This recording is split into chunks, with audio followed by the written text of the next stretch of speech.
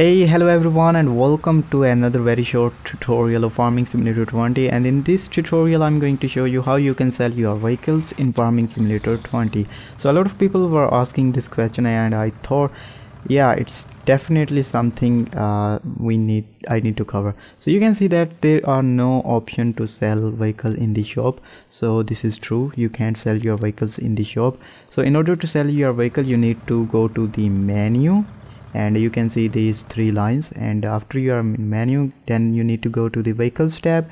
And then to the vehicles overview you will be able to sell your vehicle. So you can see that you have uh, the option to sell your vehicle. So you can uh, sell your vehicles or tools from this menu.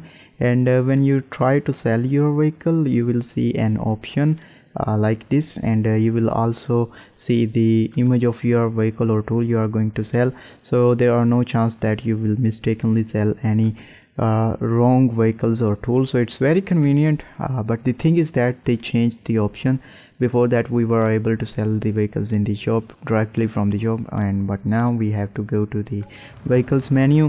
So i just hope this tutorial will help you and you will now be able to uh, sell your vehicle. So um, please make sure you leave a like for this video and i will see you in my next video very soon. Bye